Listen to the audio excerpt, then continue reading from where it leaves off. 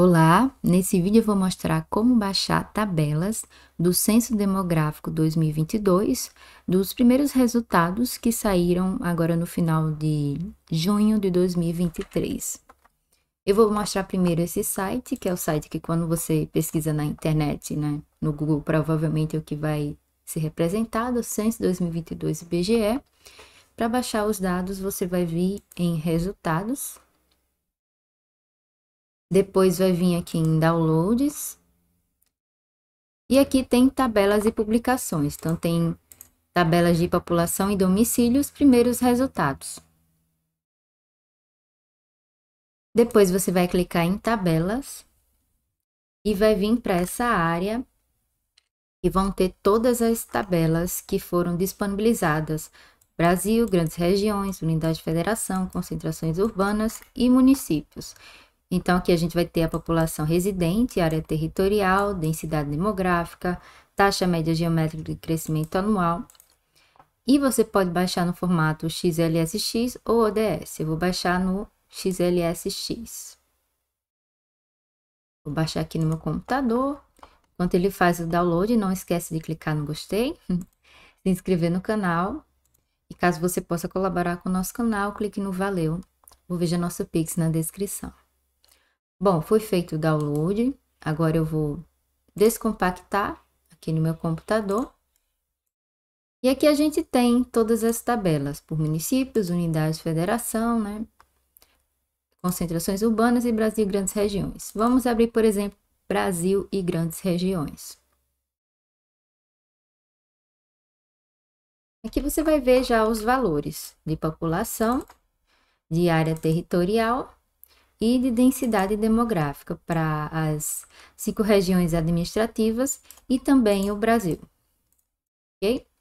Bom, além disso, a gente tem uma outra opção que é muito útil para quem trabalha com mapas, né? Quem quer espacializar esses dados, que é utilizar o Sidra do IBGE. Esse link eu vou deixar na descrição. É o link hum, do sistema Sidra, que tem Acho que todas as pesquisas que o IBGE organiza. Tem um vídeo também que eu mostro, inclusive, a elaborar mapas, cartogramas dentro do próprio Sidra. Eu vou deixar na descrição para se você quiser ver. E aqui a gente tem o Censo Demográfico 2022. Você vai clicar nele, clicar em primeiros resultados e vão aparecer todas essas tabelas com o território e o ano disponível. Eu vou escolher, por exemplo, essa aqui, que é a 4714. Você pode escolher clicar no nome ou no número. Diferentemente desse outro link aqui de tabela, no Sidra você consegue é, filtrar mais os seus dados. Por exemplo, aqui em variável você pode escolher se quer baixar só a população, por exemplo, densidade demográfica, área territorial, da forma que achar melhor. Eu vou deixar só população e densidade. Em ano eu vou escolher 2022 e aqui também é muito interessante porque você consegue restringir o que você quer baixar. Por exemplo, vamos supor que eu queira baixar os municípios do estado de Goiás. Eu vou vir aqui em município, clicar nessa seta para ele expandir. Depois vou vir em unidade de federação, clicando aqui nesse menos, desculpa, clicando em unidade de federação. E em unidade de federação eu vou Vim nessa opção aqui à direita e vou desmarcar tudo. Vou procurar por Goiás e vou clicar nele. Agora, veja que ele está mostrando que vai baixar 246, é, dados de 246 municípios, não os 550 ou 5.570 municípios que existem no Brasil. Feito isso, escolhendo o que você quer baixar, e aí tem muitas outras opções que você pode ver também, você vai poder visualizar. Visualizando aqui, você consegue já ver os dados. Ou você pode vir em download. Eu prefiro essa opção. Então, aqui, por exemplo, eu vou colocar tabela 4714 pop. Aqui na frente eu vou colocar Goiás, para saber que é referente né, ao estado de Goiás. Formato, vou escolher XLSX, mas você pode escolher outros. Uh, e aqui é muito importante para quem trabalha com mapas escolher o exibir códigos de territórios, que são geocódigos que vão facilitar para você unir a tabela com os dados de população com algum shapefile de municípios. Escolhendo esses dois, eu vou clicar em download.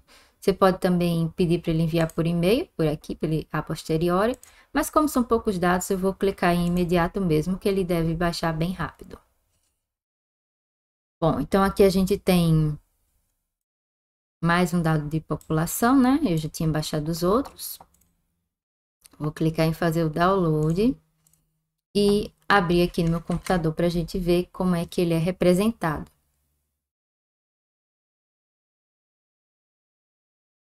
Diferentemente do outro, aqui a gente vai ter o código, né? Além do município e também desse dado aqui 2022, que se refere à variável população residente, pessoas.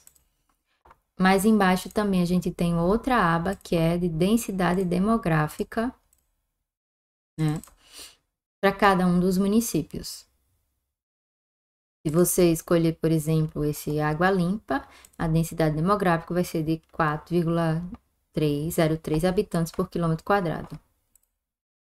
E água limpa tem 1.851 pessoas, considerando o censo de 2022. Chegamos ao final do vídeo, então. Espero que tenham gostado e que compartilhe esse vídeo com outras pessoas. Até mais!